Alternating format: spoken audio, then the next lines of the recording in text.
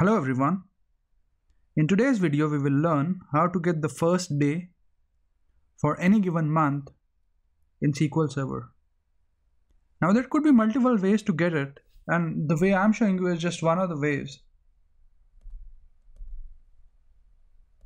So I've declared a date string where I've passed 10th of October 2010 and I just want the 1st of October 2010. So the steps is I get the month. To that I add the day and then I add the year and then I convert it again to a date. So I've broken this data that has been given to me. I've used the month and I've used the year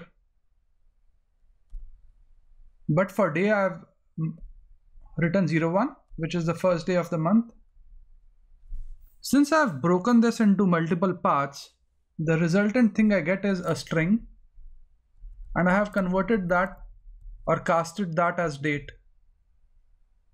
I will copy this string for you and you can use it uh, to get the first date of the month uh, in the video notes. So I can run this and you can see it gives me 1st of October 2010. Let's say I go and say 29th 2015 and it gives me the 1st of November. Or I can just set the date to today's date using getDate function. And it gives me the 1st of August 2017 so this is one way to get the first day of a month in SQL Server I hope you find this video useful and thanks for watching the video.